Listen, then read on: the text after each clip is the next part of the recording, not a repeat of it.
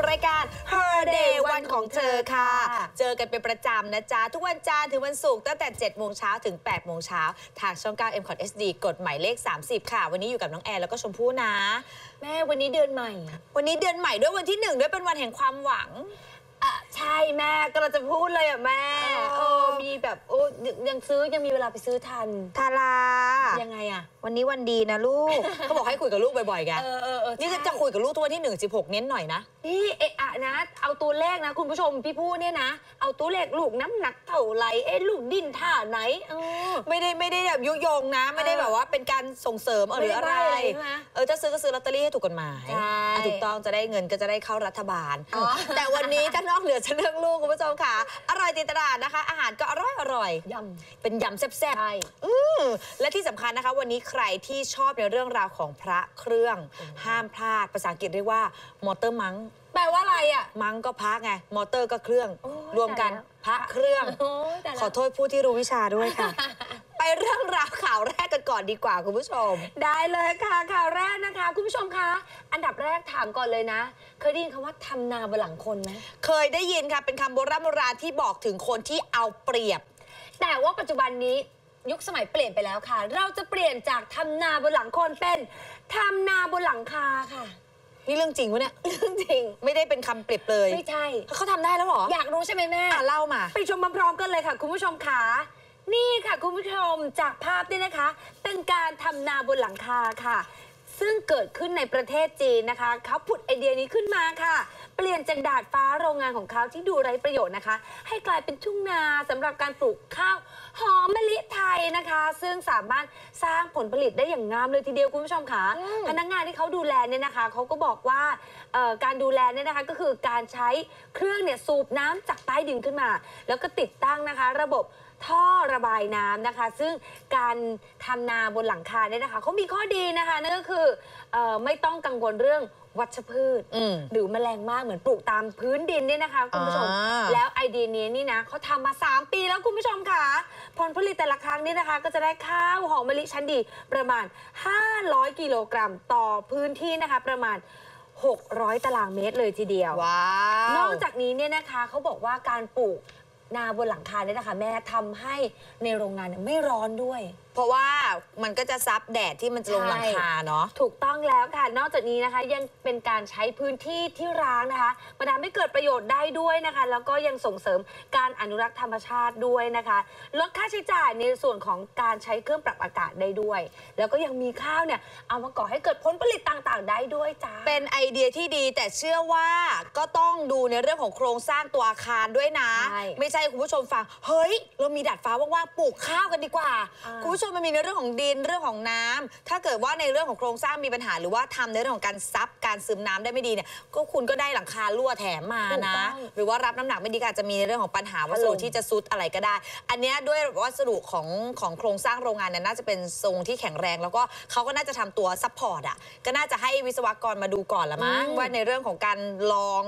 รองพื้น ใช่ไม่ให้มีการซึมน้ำหรือว่าใช้ตัววัสดุอะไรช่วย ถึงจะเป็นแบบนี้ได้นะ ถูกต้องแต่เป็นไอเดียที่ดี ใช่ เฮ้ยเก๋กูด ดูแล้วชอบเลยเพราะว่าอะไรรู้ป่ะ คือบนโลกเราเดี๋ยวนี้ที่ดินมันก็จะน้อยลงน้อยลงใช่เรื่อยๆ คือที่ดินที่เราจะเห็นปลูกข้าวก็ต้องไปต่างจังหวัด แล้วก็ต้องเดี๋ยวนี้หา มันก็จะหายไปปลูก หอ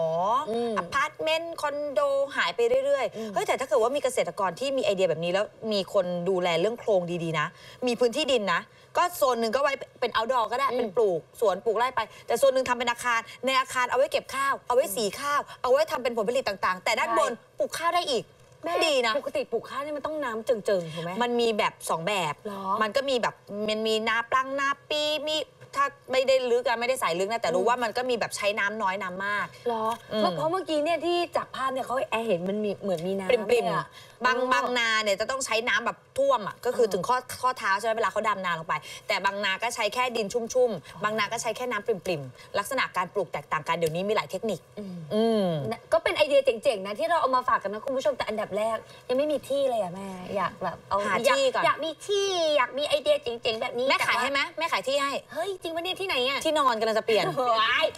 ไม่เอาสิเอาไปจะปลูกถั่วข้าวปลูกถั่วงอกได้ ถั่วงอกหัวหอมขึ้นแหมนะ ที่นอนแม่ลาขึ้นด้วยไม่เอาหรอกใช่ แม่นอนฉี่รถที่นอนนะสิช่วงเนี้ยเอ้ยเอาเป็นเรื่องต่อไปคุณผู้ชมค่ะเป็นเรื่องของแฟชั่นกันบ้างดีกว่านะคะ เป็นการจับเสื้อผ้าสีที่เหมือนจะไม่แมทกันได้นะ แต่เอามาแมทกันเป็นการต้อนรับหน้าหนาวอุ๊ยแม่หนาวหนาวอยากแต่งตัวแบบคูลๆอยากใส่เสื้อกันหนาวบ้าง จะได้แต่งไหมอยู่ในเมืองไทยจะหนาวไหมเอ้าเขาประกาศแล้วว่าหนาวตั้งแต่เดือนที่แล้ว ยังฝนวันที่17 ยังฝนตกอยู่เลย เออเอออารุณก็แล้วกันนะคะ แต่ว่าก็สามารถใช้แฟชั่นนี้มาดูแลตัวเองกันได้นะคะ เป็นแฟชั่นเก๋ๆนะอะไปดูกันมีแบบไหนบ้าง โดยปกติแล้วนะคะ ช่วงอากาศหนาวเนี่ยเรามักจะให้แฟชั่นการแต่งกายของเราเราดูดีมีสีสันใช่ไหมเป็นการแมทเสื้อผ้านะอันเนี้ยอย่างเช่น อันแรกเนี่ยคือการแมทสีเดียวกันแต่คนละเฉดสี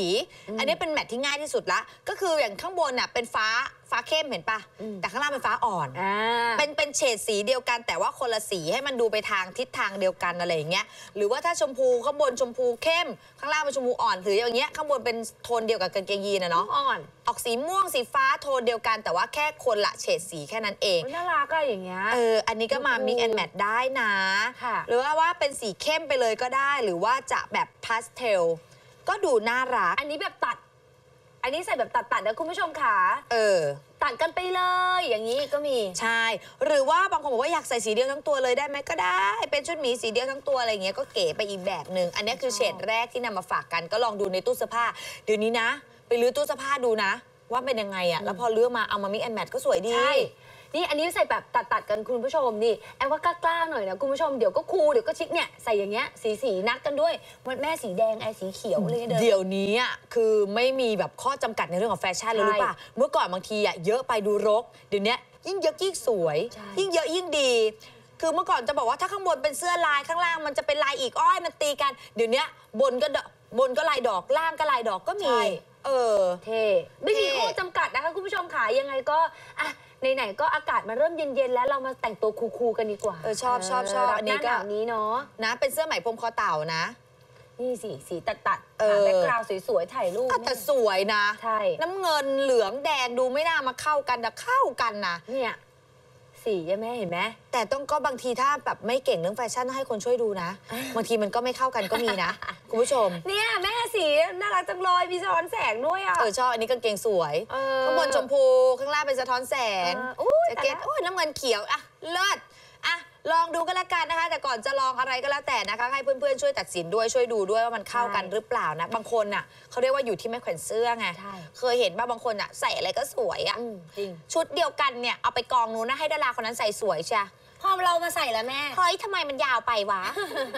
ทำไมมันไม่สวยเลยอะเขาบอกว่ากางเกงห้าส่วนเราใส่ซะยาวเชียวแม่ เออเขาบอกอันเนี้ยเป็นแบบว่าเหนือเข่าทำไมเราใส่ไปตะตุ่มวะ อะไรอย่างเงี้ย ก็ต้องคอยให้คนช่วยดูนิดนึงนะ แล้วก็อีกอย่างหนึ่งที่เราคาดหวังในเรื่องข่าวแรกที่เราเล่าก็คือ ขอให้หนาวเถอะ ใช่ ขอให้หนาวแหมไปเมืองนอกหมาหนาวแฮปปี้เลย ไปอยู่นู่น 7 องศาเออ happy ทุกวัน เออ โอ้โหกลับมาวันแรกยังไม่ได้เอาคอเต่าข้างในออก โอ้โห จะเป็นลมให้ได้เหงื่อแตก พักถึงสุวรรณภูมิ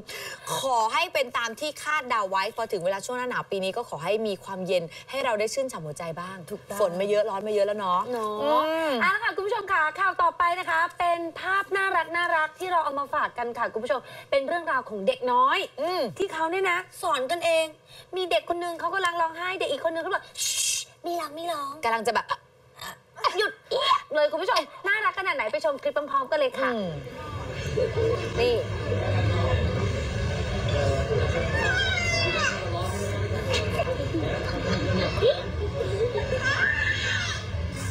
เออ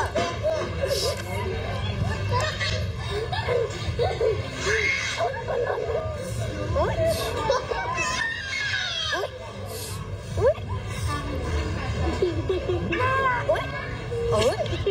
ถ้าจะอะให้ดูปากเอาไว้นะน้าปากลูกเอามือปิดให้เพื่อนเลยนี่ น่าจะเป็นแบบว่าตัวเด็กที่คอยปรามเนี่ย อาจจะโดนแบบว่าเวลาเขาจะร้องอะ คุณแม่คงบอกไว้ก่อนอะ เวลาลูกจะร้องคนเยอะนะลูกกุ๊บปิดเอาไว้ เขาก็เลยจเออำพอจำเสร็จคนข้างๆจะร้องก็เลยเตือนบ้าง ใช่ แต่ว่าเด็กน้อยมากอะแม่เขาชี้ด้วยแบบนี้ด้วยนะ เอเอออบีชี้ด้วยเป็นคลิปยาวเหมือนกันนะคุณผู้ชมค่ะนี่นี่นี่โอ้เธอหยุดได้แล้ว เธอ ดูดิยังดูอีกดิชอบอันหลังอะที่ทำพลายดูว่าแบบอ้าปากแล้วก็ปิดได้ด้วยเออเออน่ารัก น่ารักจังเลยเขาจะบอกว่าเด็กเนี่ยวัยกำลังเรียนรู้เนี่ยสามารถยัดโปรแกรมอะไรเข้าไปในตัวเขาก็ได้นะ การเลี้ยงดูพื้นฐานจากที่บ้านเนี่ยสำคัญที่สุดเลย ให้มีระเบียบให้มีมารยาทให้พูดจาเพราะๆสามารถฝึกสอนได้ตั้งแต่ตอนเด็ก ๆ จริง ๆ นะอย่าปล่อยปละละเลย ใช่แอบว่าช่วงนี้เนี่ยนะเป็นช่วงแบบผ้าขาวสุดๆเลยนะแม่มาก ใส่อะไรไปแล้วเขาก็จะเป็นแบบนั้นอะจริงช่วงที่คุณพ่อคุณแม่ผู้ปกครองควรให้เวลามากที่สุดจริง เนาะแม่ก็จะเป็นแบบนั้น แม่จะให้เวลาให้เต็มที่แต่งานก็ทำเต็มที่เหมือนกัน เอาลูกมาเลี้ยงที่นี่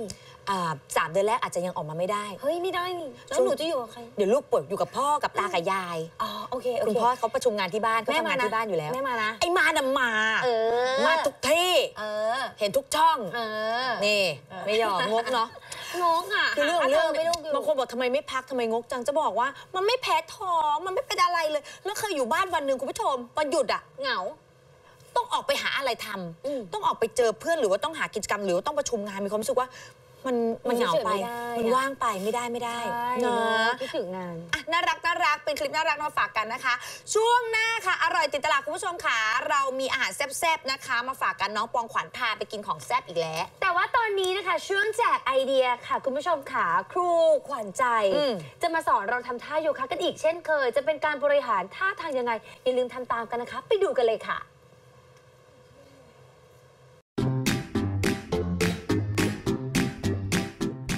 สวัสดีค่ะครูขวัญใจอีกแล้วนะคะ พบกับช่วงแจกไอเดียนะคะ วันนี้ครูมีท่าฝึกโยคะในเรื่องของคลายความปวดเมื่อย แล้วก็คลายกล้ามเนื้อนะคะและสาวๆลองมาฝึกกันดูค่ะดับแรกนะคะ จากการยืนเลยแยกขากว้างออกไปค่ะ ระยะประมาณ 3 ฟุต หรือถ้าเกิดไม่แน่ใจลองเช็คดูจากข้อเท้าถึงข้อมือให้ระยะเราตรงกันนะคะ หันไปดูด้านข้างเลยขวาซ้าย จากนั้นเกรงขาไว้กดส้นเท้าให้แน่นค่ะ เอามือมาวางที่เอว จับที่เอวไว้หมุนหัวไหล่ไปด้านหลังค่ะ ดึงข้อศอกลงไปที่พื้น เปิดไหล่กว้างๆยืดอกขึ้นมาขาเหยียดตรงเกรงขาแข็งแรงค่ะ ลมหายใจเข้าเรายืดอกตลอด ลมหายใจออกค่ะ พับลำตัวลงไปข้างหน้า ขาเหยียดตรงค่ะ พยายามเกรงต้นขาทั้งหมดไว้ตลอด แล้วเอามือไปวางที่พื้นนะคะ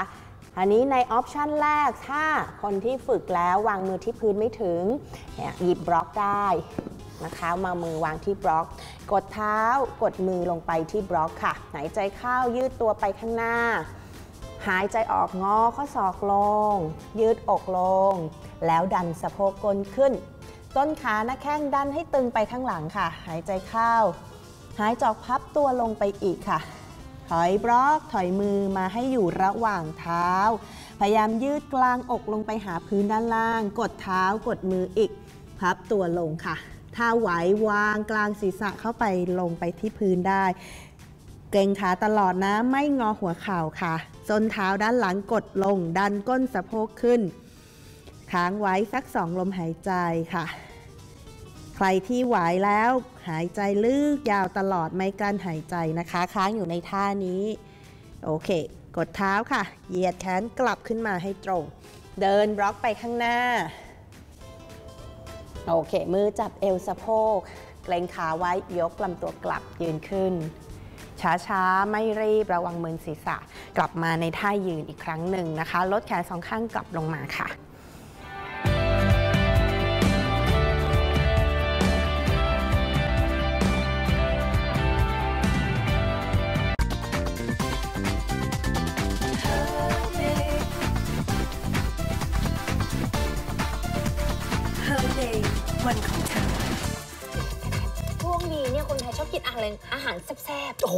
ของมักเลยอะๆถูกต้องเฮ้ยไม่ได้เลยนะ คนไทยนี่ขัดความเผ็ดเนี่ยไม่ได้นะ ไม่ได้เลยทีเดียว ต้องบอกคุณผู้ชมอย่างนี้ค่ะ ว่าช่วงอร่อยติดตลาดของเราในวันนี้นะคะ ร้านที่น้องปองขวัญจะพาเราไปไม่ใช่แซ่บอย่างเดียวคุณผู้ชมค่ะ แต่เป็นแบบว่า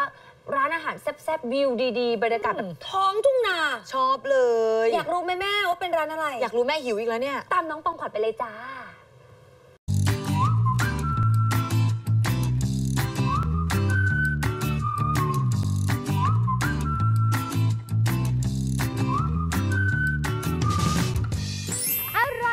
ลาดวันนี้ค่ะ คุณผู้ชมเราอยู่กันที่จังหวัดอยุธยาค่ะ วันนี้จะพาคุณผู้ชมมาหาร้านยำร้านเด็ดที่นี่เลย ต้องบอกว่าร้านนี้นะคะ เห็นร้านเล็กๆ แบบนี้ แต่ว่าเขามีเมนูยำเนี่ยสิบเมนูเลยทีเดียวโหเยอะแยะมากมาย แต่จะเด็ดขนาดไหนแค่ฟังชื่อร้านนะคะยำสวัสดิ์ถ้าพร้อมแล้ว ไปสวัสดิ์ด้วยกันเลยค่ะ มาเลยค่ะวู้ฮู้ยำสวัสดิ์จ้าวู้ฮู้ ยำสะบัดอยุธยา ร้านยำที่โดดเด่นทั้งเรื่องของความแซ่บและบรรยากาศ จนหลายคนขนานนามว่า เป็นร้านยำริมนาที่ชิลและวิวดีที่สุดในจังหวัดพระนครศรีอยุธยาเลยละค่ะ และตอนนี้นะคะเราก็อยู่กับพี่ปิ่นนะคะ เจ้าของร้านยำสวัสดแห่งอยุธยา สวัสดีค่ะ สวัสดีค่ะ แนะนำตัวหน่อยได้ไหมคะ เอาแบบอยุธยาใหญ่ๆเลยแบบที่นางงามเขาชอบพูดกันอ่าอะค่ะ ค่ะ ชื่อปิ่นนะคะ เป็นเจ้าของร้านยำสะบัดอยุธยาโอ้โหชอบมากที่มาที่ไปของชื่อร้านทำไมต้องยำแล้วสะบัดด้วย อ่าที่มาที่ไปนะคะ ชื่อร้านเนี่ยมาจากคิดกับเพื่อนค่ะว่าตอนเรา เราทำเล่นกันกินเล่นกันก่อนในปาร์ตี้อะไรเงี้ยแล้วก็แบบพอชื่อร้านเนี่ยเราก็เลยนึกถึงว่าเฮ้ยตอนที่เราทำเล่นเนี่ยมันมีค่ะความสนุกอยู่ในนั้น อืม เราก็เลยอยากจะให้ชื่อร้านเนี่ยมันสนุกไปกับอ่าบรรยากาศร้านด้วยก็เลยชื่อว่าร้านยำสะบัดค่ะ โอ้ตกใจหมดนึกว่าเวลาที่เราทำยำไปให้ลูกค้าเราต้องแบบสะบัดไปด้วยเนี่ยม่ใช่ก็ได้ใช่หมนะ เฮ้ยได้เหรอ แสดงว่าเดี๋ยวพี่ปิ่นจะทำให้เราดู ถูกไหมได้เลยนี่ แล้วยำที่ร้านเราเนี่ยนะคะ เห็นบอกว่ามีเป็นสิบเลย ยกตัวอย่างให้ฟังหน่อยได้ไหมคะ มียำอะไรบ้าง ได้ค่ะ ก็ signaเจอร์หลักๆเลยนะคะจะเป็นยำหมูยอ หมูยอออ่า แล้วก็ยำแซลมอน อืมค่ะ แซลมอนไข่กุ้ง ยำขนมจีนกุ้งสด พูดแล้วแบบน้ำลายเนี่ยมันจะออกมาอยู่แล้วค่ะคุณพี่ แปลว่ารสชาติยำที่ร้านต้องแบบจี๊ดจ๊าดถึงใจมากแน่ๆแน่นอน ใส่พริกเยอะไหมก็ถ้าสมมติว่าเป็น signature ของร้านเลยก็จะช้อนหนึ่ง ช้อนหนึ่งใช่พริกช้อนหนึ่งถ้าเทียบเป็นเม็ดนี่ประมาณกี่เม็ดคะอืมอะสักประมาณอะสิบเม็ดก็ได้โอ้โหตายแล้วพริก10เม็ด แต่ถ้าใครทานเผ็ดน้อยสามารถบอกแจ้งได้ได้เช่นเดียวกันใช่ใช่ค่ะไหมคะเอาล่ะคุณผู้ชมได้ฟังที่มาที่ไปแล้วเนี่ยนะคะ ตอนนี้ปองขวัญชักจะอดใจไม่ไหวแล้วมาวันนี้จะโชว์เป็นยำอะไรดีคะอะอันนี้เป็นขนมจีนกุ้งสดค่ะขนมจีนกุ้งสดเอ้ยชื่อมันก็ดูแบบเบสิกอะอะเดี๋ยวคอยดูว่ามันจะไม่เหมือนกับยำร้านอื่นแน่นอนอ้าวจริงเหรอ ใช่อะยังไง อะ ลองดูเลยดีกว่า คุณผู้ชมมาทำพร้อมกันเลยค่ะ มาเลย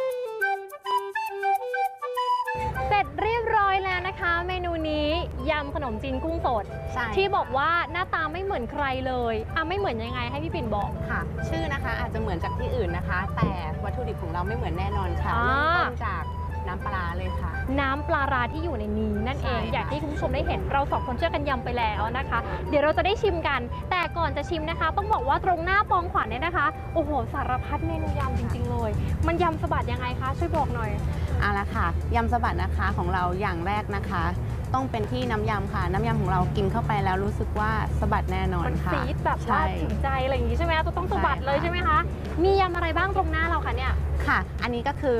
เอ่อเมนูที่จะแนะนำให้นะคะ เป็นเมนูยำไข่แดงเค็มค่ะ อ๋อค่ะเป็นไข่แดงนั่นเองใช่นะคะ ไข่แดง อันนี้เลยค่ะ หอยแครงค่ะ อันนี้เป็นยำหอยแครงค่ะรสชาติจัดจ้านแน่เลยดูจากสีแล้วนะคะคุณใช่ผู้ชมแล้วหอยเราตัวใหญ่ด้วยอู้ใหญ่มากใหญ่จริงๆนะคะอะต่อมาเลยค่ะ ค่ะยำแซลมอนไข่กุ้งค่ะ ว้าว อันนี้เป็น signature ของร้านเลยนะคะยำหมูยอค่ะ แต่ว่าทางด้านนู้นเป็นเมนูอื่นๆ ที่ไม่ใช่ยำใช่ค่ะมีอะไรบ้างคะพี่ปิ่นค่ะ ตรงนี้นะคะก็จะเป็นหมูยอทอดค่ะ อืมแล้วก็หมูยอทอดอันนี้นะคะ ปีกไก่ค่ะ ปีกไก่กลางของเรากรอบมากโอ้ยน่าทาน ค่ะมากเลยและทางนู้นล่ะคะอันนี้หมูแดดเดียวนะคะ อืมหมูแดดเดียวค่ะและและปิดเมท้านูยด้วยอันนะคะ นี้ที่เขาบอกว่าเด็ดทราบมาแล้วกเด็ดจริงๆ อันนี้ค่ะคืออะไรคะต้มเล้งแซบน้ำปลาร้าค่ะ เฮ้ย แอบบอกเลยนะคะคุณผู้ชมว่าทีเด็ดของยำร้านนี้อยู่ที่น้ำยำปลาร้าสูตรเฉพาะตัว ที่พี่ปิ่นและคุณแม่ช่วยกันคิดขึ้นมาเอง เป็นน้ำยำปลาร้าต้มสุกแบบผู้ดีผู้ดี พอนำมาผสมผสานเข้ากับเมนูยำต่างๆ และต้มเหลงแซบแล้ว ไม่น่าเชื่อค่ะ ว่าจะอร่อยนัวจนหยุดไม่อยู่เลยเลยค่ะ ถ้าคุณผู้ชมท่านไหนนะคะ อยากจะมาลองชิมความแซ่บของยำสะบัดด้วยกันกับปองขวัญเนี่ยมาได้ที่ไหนคะ ค่ะยังยำสะบัดนะคะสาขาหนึ่งนะคะ ตั้งอยู่ที่ลักนานะคะ ถนนเส้น 347 ค่ะ เปิดเฉพาะวันเสาร์ที่ 11 โมงนะคะ ถึง 5 โมงเย็น แล้วก็ขอฝากอีกสาขาหนึ่งนะคะ อยู่ที่ตลาดนัดเรียบด่วนบางปะอินนะคะ อืม ซึ่งเปิดทุกเย็นนะคะ อยู่ที่ First Station Bar ค่ะ นอกจากนี้ช่องทางอื่นๆมีให้ติดตามด้วยไหมคะค่ะ Facebook ก็ IG ทาง Facebook นะคะ Facebook ยำสะบัดนะคะ search เข้าไปได้เลยนะคะ เบอร์ติดต่อของที่ร้านนะคะ ทั้งสองสาขาค่ะ 0917192624 นะคะสำหรับแฟนรายการเ e อร์เดย์นะคะทุกคนทุกท่านนะคะ สามารถ cap หน้าจอนะคะ รายการแล้วก็นำมาโชว์ที่ร้านนะคะลดรับส่วนลดไปเลย 10%นะคะว้าวค่ะ สิบเปอร์เซ็นต์เลย จะ cap หน้าจอตอนที่ on air อยู่ก็ได้ หรือว่าในใช่ค่ะ YouTube ใช่ ดูย้อนหลังก็ cap มาได้เช่นเดียวกันก็สามารถไปกันได้นะคะสองสาขาด้วยกันกับร้านยำสะบัดวันนี้อร่อยตลาดต้องขอการันตีความอร่อยให้ไปเลย ขอบคุณพี่ปิ่นด้วยนะคะ ขอบคุณค่ะค่ะทานต่อกันเลยเป็นอีกหนึ่งร้านที่คออีสานพลาดไม่ได้เลยจริง ๆ ป้องขวัญขอช้าให้มาพิสูจน์ความแซ่บแสบปากด้วยตัวเอง ที่ยำสะบัดอยุธยาเด้อค่ะเด้อ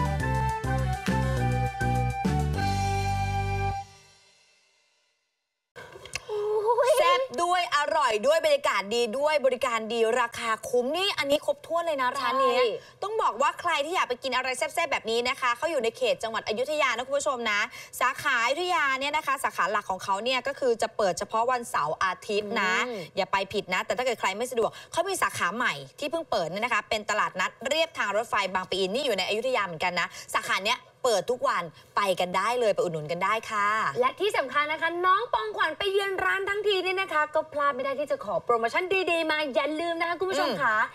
ให้เพียงแค่คุณผู้ชมนะแคปรูปหน้าจอหรือว่าถ่ายรูปนี้ไว้เลยนะ จ้ะ นี่นะหน้าจอนะคะถ่ายว่าดูรายการ Her Day จริง ๆนะคะ มาแสดงที่ร้านเอาไปโชว์เจ้าของร้านนะคะแล้วก็บอกว่านี่นะดูรายการจริง ๆ รับส่วนลดไปเลยค่ะ 10% จนถึงสิ้นเดือนพฤศจิกายนนี้ค่ะ อะหยิบโทรศัพท์ขึ้นมาหยิบโทรศัพท์ขึ้นมาเออถ่ายเอาไว้เลยจ้าถ่ายรูปเลยอะอะอะเออระหว่างนี้ที่ถ่ายรูปกันไปนะคะ เราบอกเลยว่านอกจากช่วงนี้ที่เป็นเรื่องอร่อยๆนะคะ ที่นำมาฝากกันเนี่ยช่วงหน้าค่ะ ใครที่ชอบเรื่องธรรมะธรรมโม ใครที่ชอบเรื่องพระเครื่องห้ามพลาด เรามีผู้หญิงฟังไม่ผิดปกติพระเครื่องจะเป็นผู้ชายซะส่วนใหญ่ใช่ปะที่เราได้ยินชื่อเสียงกัน แต่คนนี้เป็นผู้หญิงค่ะ มาเข้าสู่วงการเซียนพระเครื่อง เรื่องราวของเธอน่าสนใจมาก เริ่มต้นจากศูนย์เลยก็ว่าได้นะ แล้วมาจนถึงทุกวันนี้มีคนนับหน้าถือตาแล้วเชื่อถือเป็นจำนวนมาก เดี๋ยวช่วงหน้ากลับมาเจอเธอกันค่ะ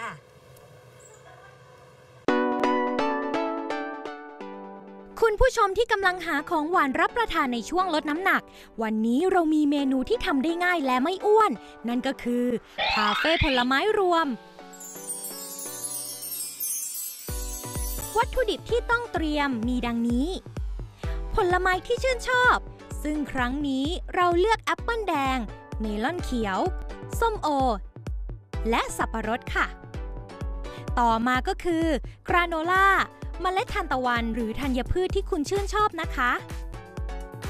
และที่ขาดไม่ได้เลย โยเกิร์ตนมไทยเดนมาร์กผสมลูกชิด 2 ถ้วยค่ะ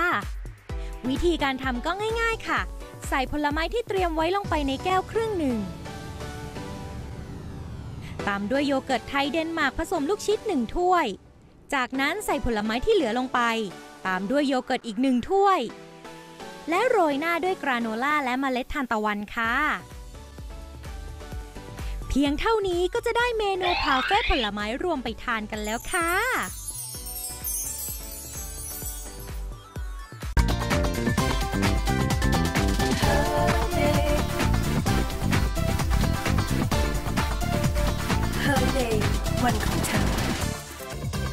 คุณผู้ชมคะกลับมาในช่วงสุดท้ายกับ Her Day วันของเธอนะคะ อย่างที่บอกวันนี้เซียนพระเครื่องห้ามพลาดเลยทีเดียวค่ะ เรามีผู้หญิงเก่งคนนึงค่ะ เป็นผู้หญิงนะ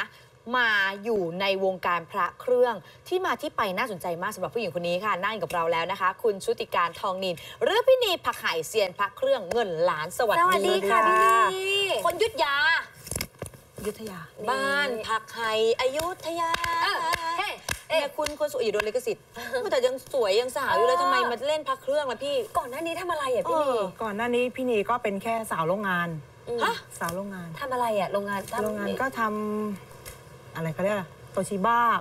เหมือนความว่าทำเครื่องใช้ไฟฟ้าใช่อย่างเงี้ยเหรอใช่ใช่อ๋อสาวโรงงาน สาวโรงงานทั่วๆไปเอาแล้วอยู่ดีๆ เข้าสู่วงการพระเครื่องได้ยังไงนั่นน่ะสิคะแล้วเคยอสัย่ามงอย่าภางษณ์พักมีเคแต่แบรื่บ องเนี่ยเปลี่พัยนมากเครื่องเนี่ยมันต้องต้องคนที่ใจรักด้วยใช่ใช่ไหม ใช่แต่แล้วพี่พอไปจะ ใจรักตอนไหนล่ะคะ พี่อะบ้านเนี่ยอยู่กับวัดอืมใช่ไหมพออยู่กับวัดแล้ว เราเห็นทุกวันอะเห็นเอ๊ะทำไมคนเข้าออกเข้าออกวัด อืม เพราะอะไร อ๋อเขามาขอวัตถุมงคล อืม เราก็คิดเลยว่าเอ้ยวัตถุมงคลเนี่ย ต่อไปข้างหน้าเนี่ย จะต้องมีรายได้ มีมูลค่าใช่ เนอะต้องทำรายได้ให้เราได้แน่นอน เออตั้งคิดมาตอนนั้นเนี่ยอายุเท่าไหร่พี่นี โอ้ยเพิ่งจะเท่าไหร่เองอะสิบเจ็ดสิบแปดเอาเลเจอเนี่ยก็เนี่ยใช่ ก็เลยกำลังงงว่าเรียบร้อย17 18 คือคนเข้าไปในวัดมันก็มีเงินหารายได้หลายอย่างขายดอกไม้ทุกเทียนก็ได้เงิน เออ ขายกับข้าว อืม ขายอาหารการกินก็ได้เงิน แต่ทำไมเราไปฉุกคิดเรื่องของวัตถุมงคลทั้งที่ เพราะว่าคนเวลาไปไปวัดเนี่ยส่วนมาก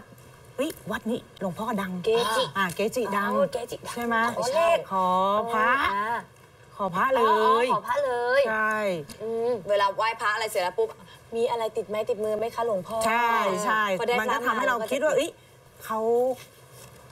เขาขอไปเพื่ออะไร อืม แต่เรายังไม่ยังยังไม่ค้นพบไงยังค้นพบไม่เจอว่า เพราะอะไรที่เขาขอไป ซึ่งตอนนั้นเรายังแหมสิบเจ็ดสิบแปดใช่ไหม ใช่เอาแล้วเสร็จปุ๊บอยู่ดีๆ พี่เห็นแล้วเอ๊ะอีกหน่อยเนี่ยนะ พระเนี่ยนะหรือวัตถุมงคลอาจจะสร้างมูลค่าได้ แล้วอยู่ดีๆ พี่เข้าสู่วงการได้ไงอะตอนนั้นยังเป็นสาวโรงงานอยู่สาวเลยโรงอะงานแต่ ในใจอะเรารักพระอยู่แล้ว ค่ะพอเราอยู่โรงงานเนี่ย เราเป็นหัวหน้า เราก็อืมเที่ยวไปตามบ้านลูกน้องอืมไปขอไงขอ้าอวเหรอ เก็บขอเก็บขอเก็บไปขอแล้วให้ตังค์ไหมวัตถุมงคลที่ไม่ไปดูไปส่องเราไม่เป็นเราจะไปให้อะไรเขาล่ะเอาแล้วไปขอเขาแล้วเขาให้ดีๆเลยเหรอ ใช่คนชาวบ้านคนบ้านนอกเนี่ยใจดีใจดีมาก คือบางทีเขาก็เอาเก็บไปบูชาเฉยๆอย่างแอร์อย่างเงี้ยไม่รู้นะก็คือบูชาสบายใจจบแล้วถ้าซึ่งคเมื่อก่อนเนี้ยใช่พี่ก็ไม่รู้ว่าพระเนี่ยจำหน่ายได้ อืมไม่รู้ไม่รู้ที่ที่ชอบขอน่ะคือเก็บสะสม อ๋อเพราะว่าเราเห็นผู้ชาย ผู้ชายเขาชอบโชว์กันใช่ไหมเออมกู เราก็มีบ้าง อ่าเราก็มีแสดงว่าเราเป็นนิสัยแบบว่าใจผู้ชายใช่เนอะใช่ใช่ใช่ลุยๆนักเลงนักเลงเนาะใช่ใช่ ณตอนนั้นเริ่มขอเพื่อนเริ่มเก็บสะสมแต่ยังไม่นึกถึงขั้นจำหน่ายหรือให้เช่าไม่บูเคยชา เลยไม่เคยแล้วไม่เคยคิดเลยว่า พระจะจำหน่ายได้เออ ใช่ไม่เคยคิด แล้วเข้าสู่วงการเอ้าแล้วอยู่ดีๆทำเงินได้ยังไงล่ะคะพี่นี ทำเงินได้ยังไงชีวิตคนเราเนี่ยมันหักเห จากสาวโรงงานใช่ไหมจากสาวโรงงานเนี่ยทำยังไงอะเราก็ได้แต่มองเขาเราอยาก นั่งรถเราอยากมีบ้านอืมทำยังไงก็ไม่มีอืมไม่มีแน่นอน เพราะเงินเดือนเนี่ย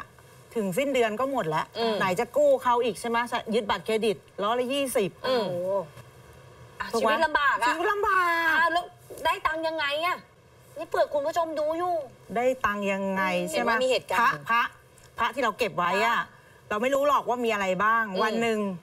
จากสาวโรงงานใช่ไหมเราก็กลายมาเป็นแม่ค้า ชีวิตมันก็แม่ค้าอะไรอะแม่ค้าทำอาหารเออมาขายอาหารอะขายอาหารต่ออีใช่กเออ เพราะว่าสาวโรงงานอะมันไม่ได้ตังค์อะคือไม่มีเงินเก็บอะเนาะใช่เราก็จ้ะคิดว่าเอ้ยเป็นแม่ค้าเนี่ยอาจจะได้ตังค์อ่าใช่ไหมพอทำแล้วมันก็ไม่ประสบความสำเร็จ อืมชีวิตก็ไม่ประสบความสำเร็จ อืมวันหนึ่งแม่อ่า แม่เกิดเส้นเลือดในสมองแตก จ้ะ ใช่ไหมมันต้องใช้เงินเยอะอืมเราต้องใช้เงินเยอะแล้วทำไงอะอาชีพแม่ค้าก็เงินก็ไม่มีเก็บ จ้ะ พี่ก็มีพระที่ว่าขอจาก ชาวจากบ้านลูกมาน้องใช่ ก็เอาไปวางในตลาดนัดอืมที่เขาจำหน่ายพระเครื่อง ซึ่งเป็นตลาดเขาเรียกอะไรตลาดล่างตลาดทางทั่วๆนครปฐมไปใช่ ตอนนั้นเนี่ยเรามีความรู้ไหมว่าไม่มีเลยรุ่นไหนไม่มีราคาขึ้นไม่มีเลยพูดได้เลยว่าไม่มีเอาไม่เป็นรู้ว่า เรื่องเลย ขายไปก่อนหาเงินรักษาแม่ ใช่ พอเอาไปวางเนี่ยตามตามตลาดนัดเขาก็จะมีโต๊ะให้เราเช่าวางอืม ใช่ไหมพอวางพอวางปุ๊บก็มีพวกผู้ชายมาลุมลุมลุมเท่าไหร่ครับ เท่าไหร่ เราไม่รู้อะเนาะเราก็เปิดเปิดอุ้ยแป๊บเดียวเฮ้ยเราได้เงินหมื่นกลับบ้าน ดีใจไหมดีใจเนาะเอาแล้วพี่ตั้งราคายังไงอะมั่วของมั่วอุ้ยแสดงว่าช่วงนั้นช่วงแรกๆใครที่ไปที่ร้านที่พี่นี่ร้านพี่แฮปปี้เลยอะไปดันไปหยิบอะไรมาแบบสมเด็จดะจริง เรื่องจริง ได้หลักพันไปอะแล้วมันเป็นหลักล้านแล้วนะก็ก็อาจจะเป็นจริง มีไปได้เพราะเราเป็นไม่ไปรู้ได้เราเพราะเราไม่รู้เราไม่รู้อะเราไม่รู้จริงเออพอได้เงินหมื่นกลับบ้านอัตภะหมดนะพี่ๆ หมดหายไปเยอะเลยอะหมดเราก็ต้องหาไงตอนนี้เราเริ่มรู้แล้วเฮ้ยอาชีพนี้ทำเงินให้เราได้ขายได้นี่หว่าใช่ไหมเออ เราก็เอาเงินน่ะมารักษาแม่ อืมจ้ะ ได้เงินมารักษาแม่แล้ว แม่เนี่ยอยู่ที่พักไห่ใช่ไหมจ้ะจ้ะพี่ก็มอไซค์คันอ่าตะเวนหาที่คะหาพระ หาพระ หายังไงไปขอทีไปนี้อีกแล้วเหรอต้องพี่ต้องตรงนี้ต้องเสียตังค์แล้วอ๋อ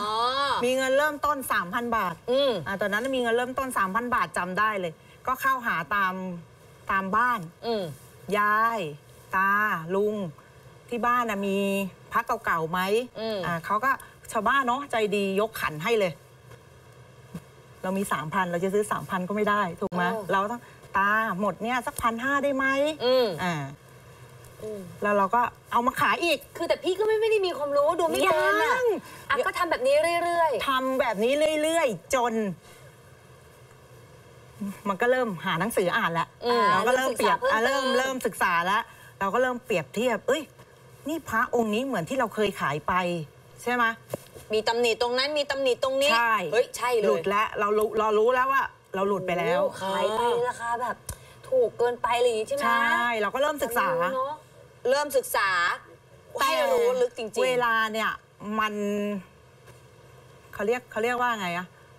มันยังไม่สายอืมใช่ไหมอืมไอ้ที่หมดแล้วหมดไป ช่างมันเริ่มต้นใหม่เริ่มต้นใหม่ศึกษเราเริ่มต้นใหม่ แล้วเริ่มส่องพระได้เมื่อไหร่พี่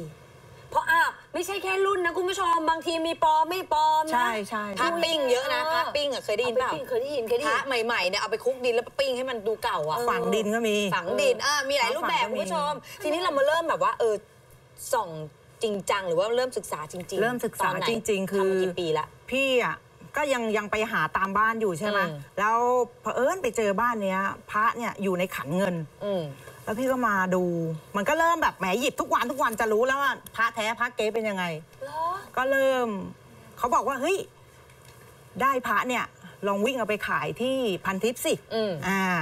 กรุงเทพนะ ใช่ อืม พอพี่ขึ้นมาพันทิพย์น่ะอื้อหือมีแต่คนยกมือไหว้พี่ เพราะว่าทีแรกนึกว่าเขาเขาเขารู้จักเราและเปล่าหรอก คือแบบเราก็บ้านนอกใช่ไหมหิ้วพระขึ้นไปห่อหนึ่งเงี้ยพวกเซียนพันทิพย์ก็อยากได้พระจากเราไงเออ พระเราพระแท้ดูแลอย่างดี ใช่ มีวันหนึ่งอะวันนั้นนะพี่พี่เหมาเหรียญหลวงพ่อแดง วัดเขาบันไดอิฐไปได้ในราคาที่ไม่แพง อืมพี่ขายเขาไปอยู่ประมาณสักสองพันบาท พี่จำได้เหรียญนั้น เซียนเนี่ย แล้วพี่ยังจำได้ทุกวันนี้นะคือใครเขาก็เดินมาซื้อพี่ พอซื้อพี่อะความที่พี่ยังไม่ได้หลุดจากตรงนั้นเขาขายต่อกัน ในราคาวันนั้นสองแสนหกฮะเหรียญเดียวเหรอเหรียญเดียว ซื้อจากพี่สองพันใช่ ไปขายสองแสนหก260,000พี่ยังอยู่ตรงนั้นอยู่เลยนะตาพี่ยังอยู่ตรงนั้นเขาคนที่เดินมาเนี่ยเขาไม่รู้ว่าพี่เพิ่งขายไปไงอืม เออ นี่ก็เคยเลยกลายเป็นจุดเริ่มต้น ที่พี่คิดว่าไม่ได้แล้วก็โดนเอาเปรียบอะไม่ได้แล้วยังไงก็ไม่ได้สองพันสองพันหกแหมให้เราสักแสนหนึ่งก็ได้มั้งคืออืมตอนนั้นเราก็คิดแบบนี้แต่ถ้าเราทำใจณณวันนี้นะ อืม เราคิดว่ามันเป็นค่าวิชาของเขา อะถูก มันเป็นค่าวิชาของเขา เขาพูดเลยกับพี่ไหมพี่เดินไปเจอเขาทุกวันนี้เขายังไงอ่ามีอีกไหมสองพันอะ ทุกวัน ทุกวันเนี้ยเจอกันในฐานะเป็นเซียนเซียนทั้ที่งคู่เทียบกันแล้วเออประสบพี่ก็ยังการณ์ แซวเขาตลอดเลยนะว่าเฮ้ยถ้าไม่มีมึงวันนั้นก็ไม่มีกูวันนี้นะเออเฮ้ยประสบการณ์เพมันเขเป็นสอเป็น นเป็นแรงบันดาลใจที่หลอกเรา ค่ะอ่า อะหลังจากนั้นเป็นประสบการณ์พี่กลับมาพี่จริงจังเลยไหมเฮ้ยต้องดูให้เป็นต้องนี่รู้ให้ลึกก็รู้จักพอเริ่มไปขายไปขายคนบนนั้น เราก็จะรู้จักคนบนนั้นใช่ไหมจ้ะเขาก็ชวนเขา ก็ก็มีเซียนคนหนึ่งอะนะที่อยู่บนห้างมันทิพย์บอกเอ้ยพี่นีพี่นีอะไปหาพระตามบ้านอย่างเงี้ยเดี๋ยวนี้มันมันหายาก อืมพี่นีมาอยู่กับผมไหมเป็นเด็กเช็ดตู้ไงอ่าอืมเป็นเด็กเช็ดตู้เข้าใจปะอะ อ่าเด็กเช็ดตู้ที่แบบเราไม่ได้เซียนพระนะอืม เขาก็จะสอน ไม่สอนหรอกใครจะมาสอนล่ะ อ้าวเขาแล้วห่วงจะผู้ชายทำอไงย่างเงี้ยเหรอ ใช่ แล้วก็เช็ดตู้ทำอะไร ก็เรียกพระไงฮะ เรียกพระเรียกอ่า บนโต๊ะบนบนห้างมันทิพย์อาจจะเป็นจ้ะตู้ใช่ไหมอืมสมมติว่าชาวบ้านเดินใครเดินเงี้ย มีพระมาดูไหมคะอะอ๋อก็เหมือนเรียกอะสมมติสมมติเหมือนร้านอาหารก็เรียกแขกใช่ อันนี้เราเรียกพระใช่มาจ้านี่มีพระไหมจ้าเห็นมีพระอยู่ที่คอมาดูไหมใช่อะหรือว่าพกอะไรใช่ใช่มาดูมาดูอะแล้วพอมาดูแล้วเราก็เก่งขึ้นเรื่อยๆเหรอเราก็ได้เห็นไงเออเราก็ได้เห็นได้วิชาอืมได้วิชานี่คือเราได้เห็นของแท้อืมสรุปคือพี่นีอยู่กับเขานะ เป็นเด็กเป็นเด็กช็ดตู้นะเช็ดตู้อ่าเป็นเด็กเช็ดตู้นานไหมพี่ใช่ ก็ประมาณเหรอครึ่งครึ่งปีนะ ครึ่งปี ครึ่งปี สิ่งที่ได้คืออะเราก็ได้สัมผัสได้เห็นพระมากยิ่งขึ้น ใช่ เราได้รู้จักคน ตอนนั้นน่ะสามารถเรียกตัวเองได้ว่าเป็นเซียนพระยังเอายังเลยยังเอายังเพิ่เข้าสู่ยังกันแล้วแล้วยังไงอยู่ดีๆทำไมอยู่ดีๆ คนปัจจุบันนี้ถึงเรียกพี่ว่าเป็นแบบเซียนพระเดินใช่ดื้อใช่จนได้ฉายานะอืมพี่นีปักไห่เนี่ยอืมเพิ่มเป็นได้ยังไงพี่เพราะว่า เราก็พัฒนาใช่ไหมอืมพอเป็นเด็กเช็ดตู้เสร็จ เราได้เห็นพระ เราอยากเป็นอะไรอะ พระเนี่ยมีหลายชนิด อืมพระเนื้อดิน จ้ะ โลหะอืมจ้ะพระเนื้อผงอืม ใช่ไหมเราอยากเป็นอะไรอะในในสิ่งแรกเลยอะที่เราเคยขับมอไซค์อะสิ่งที่เราเป็นครั้งแรกเลยคือเนื้อดิน อืมเนื้อดินก็คือพระพวกขุนแผนขู่วัดบ้านกลางอืม ใช่ไหม พระผงอะไรเงี้ยพระผงนี้อาจเป็นแบบเนื้อดินอย่างเงี้ยเหรอไม่ใช่เกี่ค่ะยวพระผงก็คือพระผงพระผงคือพระผงพระดินเป็นแบบไหนพระผงก็คือพระผงแบบไหนแบบไหนเนื้อดินแบบไหนเนื้อเนื้อดินก็คืออย่างนี้แล้วก็อ่าอย่างนี้อ่าเป็นพวกนี้อะขออพวนุกขญาอตงพระปานเปิดผมนิดนึงค่ะนี่อ่าอันนี้คือพระเนื้อดินใช่ค่ะแบบขออนี้นุญาตนะจ๊ะนี่อันนี้แพงด้วยพี่พี่นีบอกถาดนี้แพง อันนี้คือแบบผง อันนี้ผง เนื้อผงนะจ๊ะเออนี่อย่างนี้เนื้อดิน เนื้อดินก็จะอีกแบบนึงอะแตกต่างกันยังไงพี่นีเนื้อ อันไหนแพงกว่าอันไหนดูยังไงพี่นีเทียบได้ไหมว่าผงแพงกว่าเนื้อดิน อืไม่เกี่ยวไม่เกี่ยวอะไม่เกี่ยวดูดูที่รุ่นดูที่ความหายากหรือยังไงพี่นีใช่ อย่างสมเด็จจ้ะ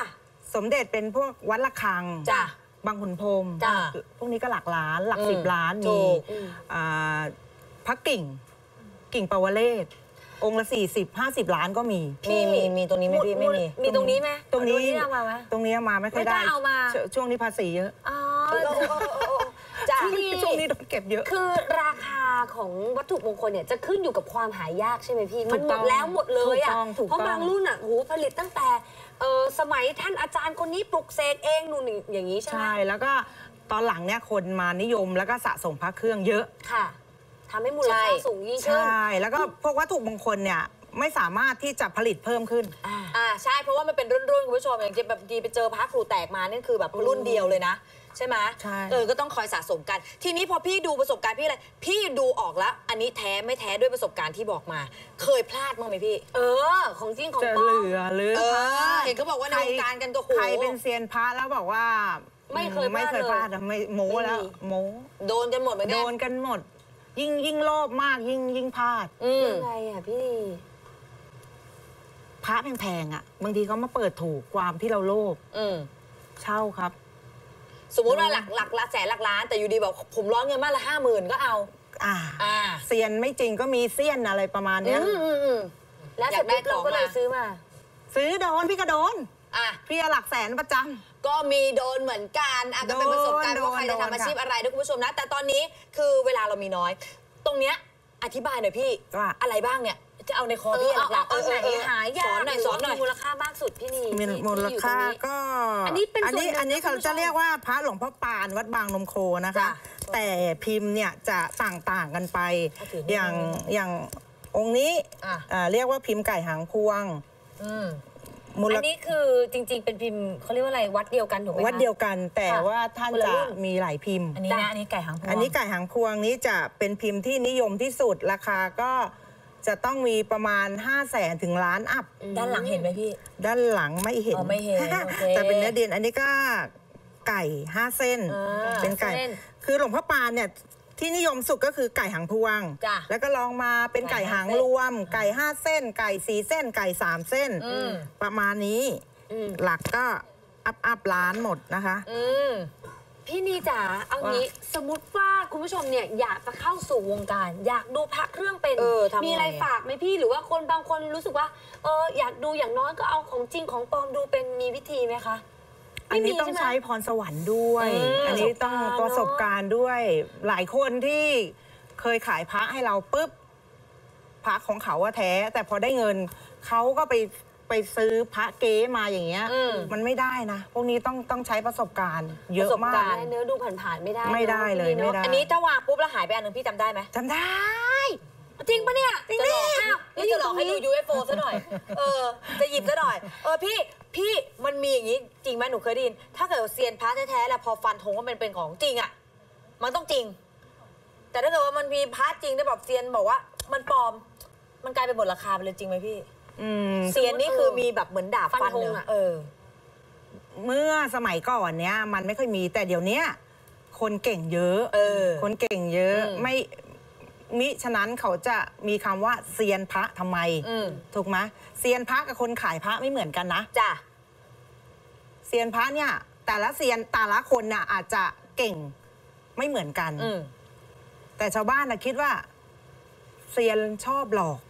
เซียนชอบหลอกบอกว่าใช่ ของของจริงของปลอมของปลอมของจริงาประมาณอย่างเงี้ย คือมันก็ มันเหมือนคนดี คนไม่ดีมีทุกวงการมีทุกเอาถูกไหมวงการมีทุเซีกยนวงแบบการ ดีๆก็มี แต่คนที่ตั้งใจจะมาหลอกก็มี เอาอย่างนี้ดีกว่าถามพี่นีเลยสรุปเลยนะคะ ว่าการที่พี่นีเนี่ยได้เข้ามาอยู่ในวงการพระเครื่อง ตอบโจทย์ความสุขยังไงพี่บ้างอืมโอ้โห ชีวิตเปลี่ยน ค่ะ ชีวิตเปลี่ยน สิ่งที่เราไม่เคยมี เราไม่เคยมีบ้าน เราไม่เคยมีรถ เราไม่เคยมีเงิน เราได้หมด อืม ค่ะ เราได้พบคน มากมายหลายวงการ ก็อย่างว่านักมีทั้งดีทั้งไม่ดีอืมแต่ส่วนมากเราเจอแต่คนดี หลายวงการ ไม่ว่าจะเป็นดารา ไม่ว่าจะเป็นผู้บริหารอืมไม่ว่าจะเป็นนักธุรกิจอืมหรือว่านักคนต่างชาติ วงการนี้เนี่ยมันเหมือนทำให้เราได้เรียนรู้คนด้วยไหมพี่นีเรียนรู้คนถูกไหมใช่อืมเราดูพระเป็นอะ เราต้องมองคนให้เป็นด้วยนี่เราต้องมองคนให้เป็นด้วยคนบางทีนะเราเห็นหน้าเรารู้เลย คนเนี่ยเก๊ตั้งแต่หน้าเลย อืมเรียกได้ว่าจริง ๆ แล้วเกิดจากความรักนั่นแหละถูกไหมความรักวันที่พี่ความรัก นั่งมองอยู่ที่หน้าวัดเห็นคนเดินไปเดินมา เกิดจากความรักและทุกวันเนี้ยมีทุกอย่างได้จากความรักเช่นเดียวกันประสบความสำเร็จได้เช่นเดียวกัน ค่ะ พี่นีคะอยากให้พี่นีพูดถึงเรื่องอาชีพหน่อยให้เป็นแรงบันดาลใจกับคนที่ดูรายการเธอเดย์อยู่นะคะ ว่าอาชีพจริง ๆ มันมีหลายอาชีพ ใช่ แต่อาชีพที่ผู้ชายทำได้ผู้หญิงก็ทำได้มันก็มีเหมือนกันมีค่ะมี ก็อยากให้ทุกคนที่กำลังท้ออม นะคะ ตอนเนี้ยคือไม่ว่าอาชีพอะไรอะถ้าใจเรารักเราทำได้ เหมือนเหมือนกันนะคะ ใครที่มีพระหรือว่าใครที่อยากรู้อะไรอย่างเงี้ยโทรมาปรึกษาได้ค่ะนี่โทรมาปรึกษาได้ ไม่ต้องเอามาขายก็ได้เราให้ความรู้อืมพี่นีติดต่อแบบว่าเข้าไปสอบถามพี่นีมี Facebook ไหมช่องทางการติดต่อมีอะไรไหมคะ มี Facebook ค่ะค่ะ Facebook เข้าไปเลยอะไรคะที่ พี่นีชุติการทองนินนีพักไห่ ชุติการทองนินขึ้นให้หน้าจอตรงนี้แล้วนะคุณผู้ชมนะ สามารถสอบถามหรือว่าปรึกษาก็ได้ ไม่ได้ปรึกษาเรื่องพระก็ได้ปรึกษาเรื่องการใช้ชีวิตก็ได้เพราะว่าพี่นีเนี่ยผ่านอะไรมาเยอะเหลือเกินประสบความสำเร็จแล้วเนอะวันนี้เนอะเรียกได้ว่าเป็นแรงบันดาลใจดีๆ ให้กับเช้านี้นะคะ ในวันนี้ต้องขอขอบคุณพี่นีมากๆเลยค่ะได้ขอบพระคุณค่ะ วันนี้หมดเวลาลงแล้วคุณผู้ชมค่ะต้องขอขอบคุณเสื้อผ้าสวยๆจาก Surreal Object ด้วยค่ะ กลับมาพบกับพวกเราได้ใหม่นะคะ ในวันจันทร์หน้ากับคุณผู้ชมค่ะเวลาดีๆตอน7โมงแบบนี้นะคะ วันนี้พวกเราสามคนลาไปก่อนค่ะ สวัสดีค่ะ สวัสดีค่ะ